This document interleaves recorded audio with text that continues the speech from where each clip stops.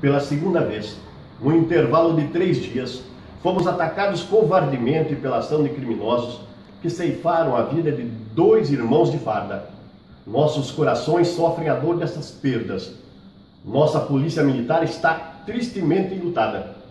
A ousadia protagonizada pelos criminosos deve ser encarada com preocupação, não só pelas forças de segurança, mas também por toda a sociedade catarinense, que há de se indignar com estas mortes, pois a polícia é o que separa a paz do caos social.